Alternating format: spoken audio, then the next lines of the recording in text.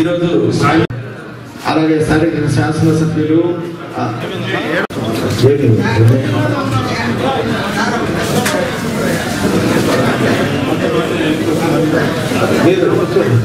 శ్రీ మరి దళిత వర్గాల వారికి అనేక రకాల రాయితీలు కూడా కల్పించే ఒక ఘనత మన గౌరవం కావాలి అని చెప్పి మరి పెద్ద ఎత్తున పోరాటం చేసి వారి యొక్క పోరాటం ఫలితంగానే ఈ రోజు రాజ్యాంగంలో కూడా మనకి దళితులకు అందరికీ కూడా ఓటు హక్కుతో పాటు రాజ్యాధికారంలో కూడా భాగాన్ని కల్పించే ఒక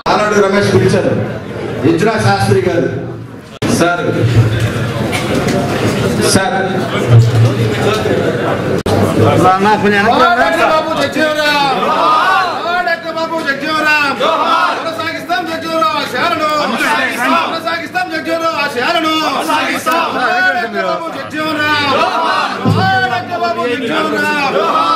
కొనసాగిస్తాం. ఆశయాలను కొనసాగిస్తాం. జగ్జీవరామ్ ఆశయాలను కొనసాగిస్తాం. జవహర్ డాక్టర్ కొనసాగిస్తాం గారి ఆశయాలను కొనసాగిస్తాం గారి ఆశయాలను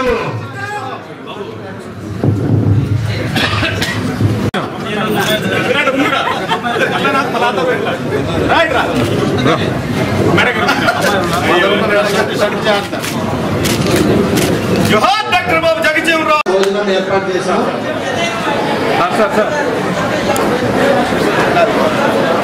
సార్ ఇప్పుడు మన గౌరవ జిల్లా కలెక్టర్ గారికి మన గౌరవ జిల్లా కలెక్టర్ గారికి సన్మానం కార్యక్రమం చేస్తున్నాం సార్. సార్ ఈ జయంతి మహోత్సవ కార్యక్రమానికి చేసినటువంటి మంత్రివర్యులు గౌరవ జిల్లా కలెక్టర్ గారు ప్రజా ప్రతినిధులు ప్రజా ప్రతినిధులు అలాగే బాలినేని శ్రీనివాసరెడ్డి సార్ శాసనసభ్యులు మేయర్ గారు జడ్పీ చైర్మన్ గారు దళిత నాయకులు ప్రజా సంఘ నాయకులు జిల్లా అధికారులు మరి సాయం గంగాడ సుజాత మేడం గారికి అలాగే జడ్పీ చైర్మన్ మేడం గారికి గౌరవ జిల్లా కలెక్టర్ గారికి చైర్మన్లు మరియు దళిత నాయకులు ఇక్కడ విచ్చేసినటువంటి జిల్లా అధికారులు సాయంచలు తెలియజేస్తూ మరి మీకు అందరికీ కూడా ప్రత్యేక వందనములు తెలియజేస్తున్నాం సార్. మహానేత స్వర్గీయ హృదయపూర్వక నమస్కారాలు ధన్యవాదాలు తెలియజేస్తూ మొదటగా ప్రార్థనతో మొదలు పెడతాం.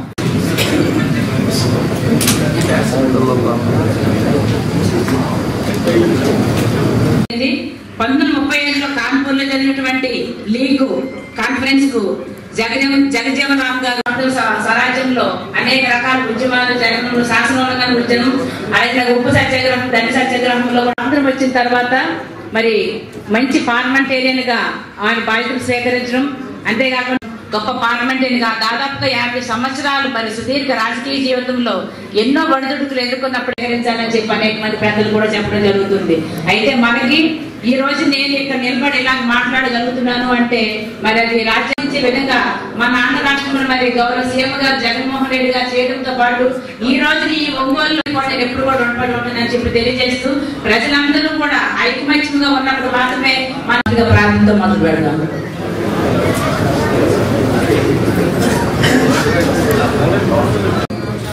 చేసినటువంటి పెద్దలు మాజీ మంత్రివర్యులు ప్రస్తుత మంత్రివర్యులు పెద్దలందరికీ మహాజన సోషలిస్ట్ పార్టీ మందాకృష్ణ మాది గారి పక్షాన సామాజిక ఉద్యమం తెలుపుకుంటూ మహనీయుల గురించి బహుజన సుఖాయ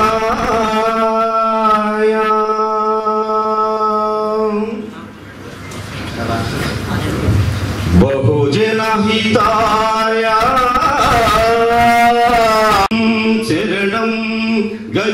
గచ్చామి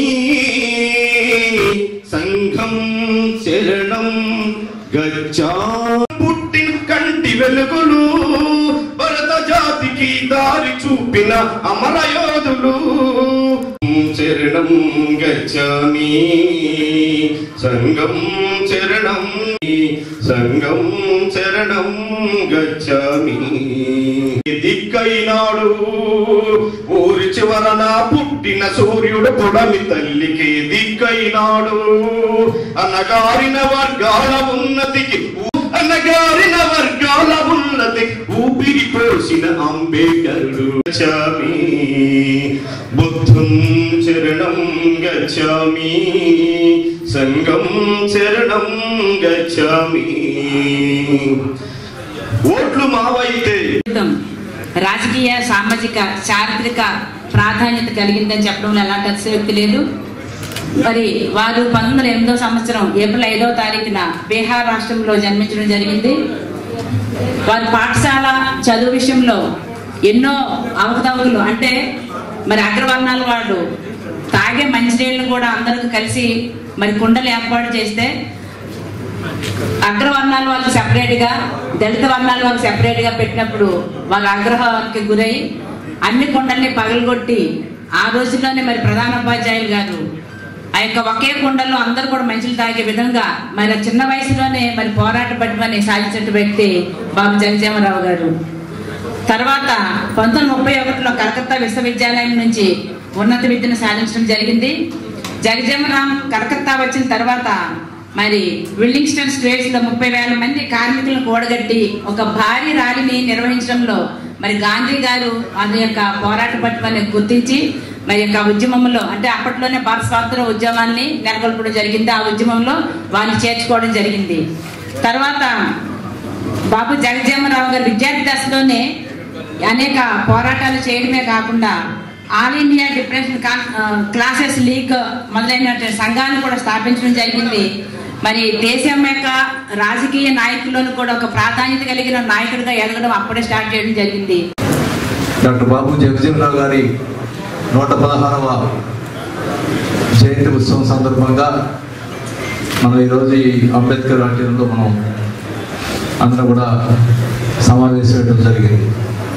మరి పెద్దలు జగజీవనరావు గారు కానీ మరి అంబేద్కర్ గారు కానీ వాళ్ళు దళితుల కోసం చేసిన త్యాగాలు మనం అందరూ కూడా గుర్తుపెట్టుకోవాలని కూడా తెలియజేసుకుంటా ఉన్నాం. ఈరోజు సురేష్ గారు మంత్రిగా ఉన్న మన సుజాత గారు మేయర్గా ఉన్న ఈ రిజర్వేషన్ కల్పించినటువంటి వ్యక్తులు మనం ఎప్పుడు కూడా జీవితాంతం గుర్తుపెట్టుకోవాలని కూడా తెలియజేసుకుంటా ఉన్నాం. ఎందుకంటే ఎప్పుడు అగ్రవర్ణాల వాళ్ళే పరిపాలిస్తున్న ప- పరిస్థితిలో దళితులు కూడా రాజకీయంగా సామాజికంగా ఎదగాలి అనే ఉద్దేశంతో డాక్టర్ బిఆర్ అంబేద్కర్ గారు ఆ రోజు రాజ్యాంగంలో మరి వీళ్ళందరూ కూడా అవకాశం కల్పించినటువంటి వ్యక్తి అంబేద్కర్ గారు. దానికి కూడా మన జగజీవనరావు గారు కూడా ఎంతో మరి ఎన్నో కార్యక్రమాలు చేసిన వ్యక్తి. ఆయన మొదటి నుంచి కూడా నెహ్రూ గారి టైం నుంచి కూడా ఆయన మంత్రిగా కేంద్ర మంత్రిగా చేసినటువంటి వ్యక్తి జగజీవనరావు గారు. మంత్రివర్యులకి ప్రసంగించి వదిలేసాను ముగిస్తాను. మనము ఈ బాబుజీని జయంతి గురించి మాట్లాడుతూ వాళ్ళకుంటున్న లైఫ్ హిస్టరీ ఎందుకు ప్రతి ఒక్కరు కూడా మనం మాట్లాడుతున్నామంటే ప్రతి ఒక్క అడుగులు అలాంటి ఒక మహానుభావుడు మనం అంబేద్కర్ గారు కానీ మన జగజీవన్ గారు కానీ వాళ్ళు ఎట్లా ఒక నార్మల్ ఫ్యామిలీ నుండి వచ్చేసి ఇంత దేశానికి ఇంత పెద్ద నాయకత్వం ఇచ్చేసి ఎంతో పెద్ద రెవల్యూషనరీ చేంజెస్ తీసుకొచ్చిన మహానుభావుడు. వాళ్ళకున్న ప్రతి ఒక్క లైఫ్ ఈవెంట్స్ కూడా మనందరికీ ఒక లెసన్ అన్నమాట. మనకి ఉంటున్న హక్కుల గురించి మనం ఐ మీన్ తీసుకోవాలంటే దానికి ప్రతి ఒక్కరు కూడా పోరాడాలి. అంతే కదా? ఇది మన ఒక సమాజంలో మాత్రం కాదు మన ఫ్యామిలీలో కూడా ఉంటుంది. అంతే కదా ఒక ఇంట్లో ఒక ఇంట్లో ఒక నలుగురు పిల్లలు ఉంటే వాళ్ళకి కావాల్సిన ఒక తిరిగి పండ్లు తీసుకుంటే కూడా పోరాడాలి. అంతే కదా నాకు కావాలి. అట్లా ప్రతి ఒక్కరు కూడా ఇట్లాంటి పెద్ద పెద్ద లీడర్స్ అందరూ కూడా ఏదో ఒక సపోర్ట్ ద్వారా వచ్చిన వాళ్ళు కాదు. వాళ్ళందరూ ఒక స్వయంగా వాళ్ళు పెట్టిన పోరాటం వలన వాళ్ళు స్థితికి ఈ స్థితికి వచ్చేసి వాళ్ళకు ఉండిన చరిత్రలందరూ కూడా ఒక పాటగా మనం ఇవాళ మాట్లాడుతున్నామంటే అట్లాంటి స్ఫూర్తి మన అందరూ కూడా ఖచ్చితంగా తీసుకోవాలి. సో నేను ఇప్పుడు మాట్లాడుతున్నప్పుడు ఇంకొకటి ముఖ్యమైన పాటలో ఇప్పుడు డీడీ గారు చెప్పారు మన మన జిల్లాలో ఎస్పెషలీ ఇది ఈ మార్గదర్శిని ఒక కార్యక్రమం పెట్టాం. అంటే ఒక కెరియర్ గైడెన్స్.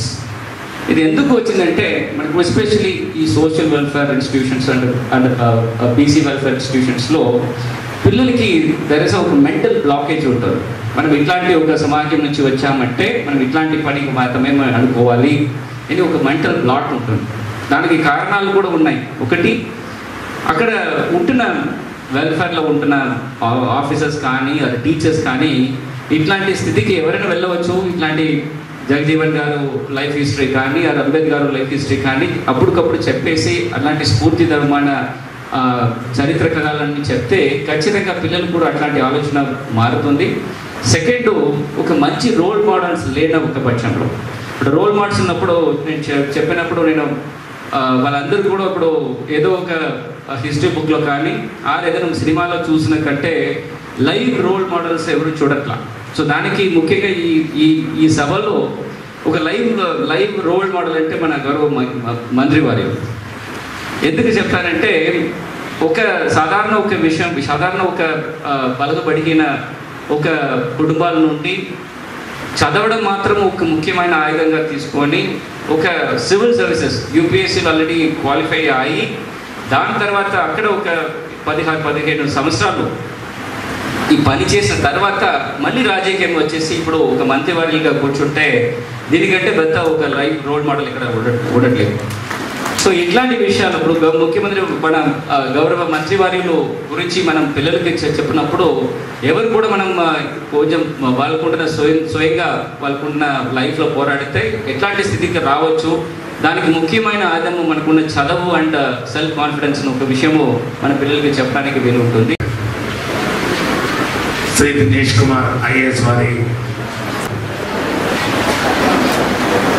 ప్రభుత్వం తరపున ఎందుకంటే ప్రభుత్వంలో భాగస్వాములుగా నేను ఉన్న నేపథ్యంలో ప్రభుత్వం తరఫున ఖచ్చితంగా నేను ఒకటి చెప్పదలుచుకున్నాను.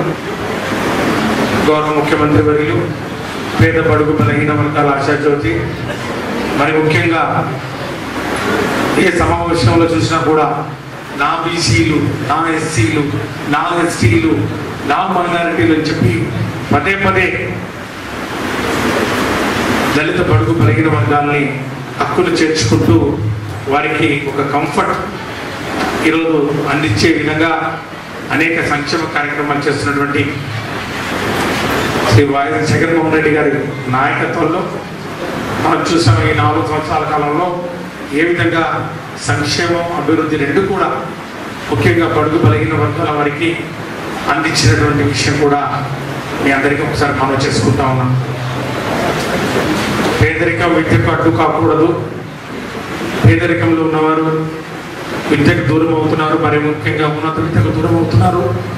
బడుగు బలహీన వర్గాల కుటుంబాల నుంచి పిల్లల్ని బడికి పంపించాలంటే ఆర్థికంగా ఇబ్బందులు ఎదుర్కొంటున్నటువంటి పరిస్థితుల్ని చాలా చక్కగా అర్థం చేసుకున్నటువంటి ప్రభుత్వం ద్వారా ముఖ్యమంత్రి వర్యులు మన జగన్ అన్న అనే సంగతి కూడా ఈ సందర్భంగా మీ అందరికీ కూడా దానికి తెలిసే ఉంది. ఇప్పుడు ఎందుకంటే ఈ నాలుగు సంవత్సరాల కాలంలో ఒక నిబద్ధతతోటి విశ్వసనీయతతోటి కార్యక్రమాలన్నీ కూడా సజావుగా దామాష ప్రకారం దళితులు ముఖ్యంగా బడుగు బలహీన వర్గాల వారికి అందించడంలో ఈ ప్రభుత్వం వైఎస్ఆర్ కాంగ్రెస్ పార్టీ ప్రభుత్వం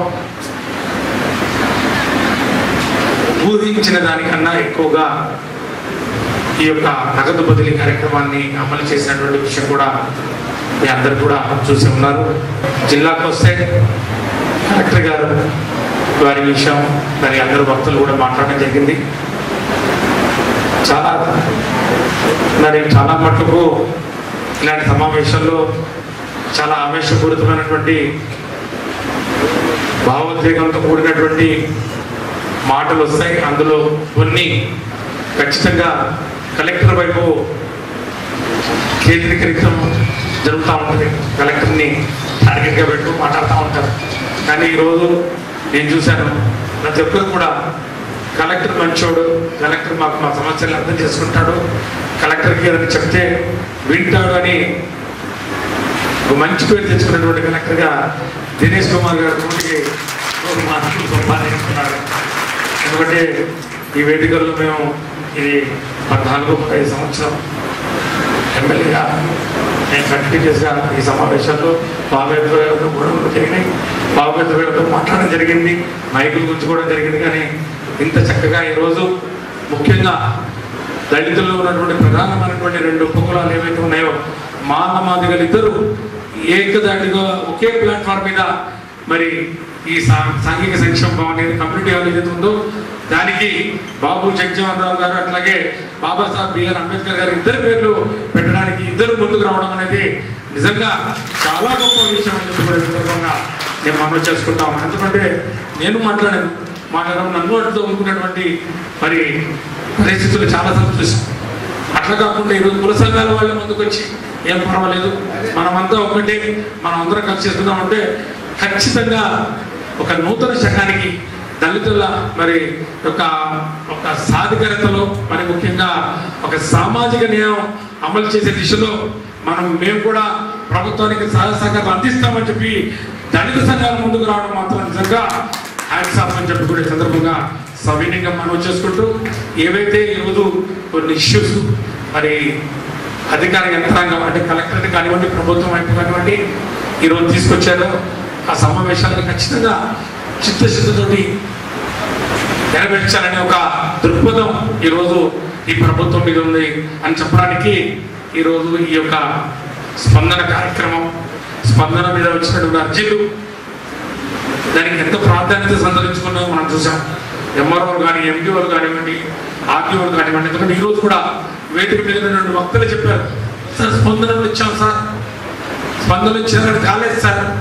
అంటే దాని అర్థం ఏంటి?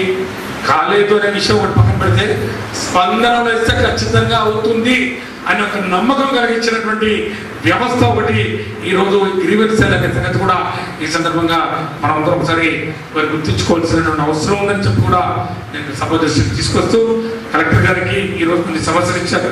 ప్రత్యేకంగా నేను కూర్చున్నప్పుడు నా పక్కన మరియు రమణమ్మ గారు ఒక కొంతమంది నాయకులు కొంతమంది ఎంప్లాయీస్ దళిత వర్గానికి సంబంధించినటువంటి ఎంప్లాయీస్ డ్రైవర్స్ ముఖ్యంగా రో-